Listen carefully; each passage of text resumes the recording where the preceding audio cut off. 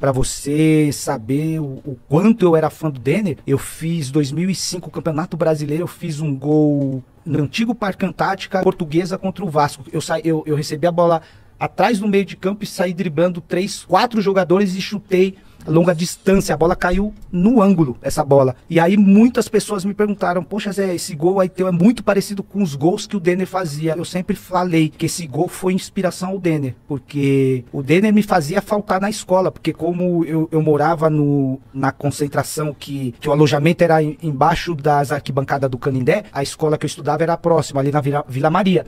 Eu, eu, eu treinava de manhã e estudava à noite. E Campeonato Paulista e Campeonato Brasileiro, a portuguesa jogava de fim de semana e meio de semana. Quando eu tinha jogo de quarta-feira, eu queria ser gandula pra estar dentro do campo Pra ver o Denner. pra ver o Denner, cara. Caralho. E eu faltava na escola, eu não ia pra escola e brigava pra ser gandula. Ninguém queria ser gandula.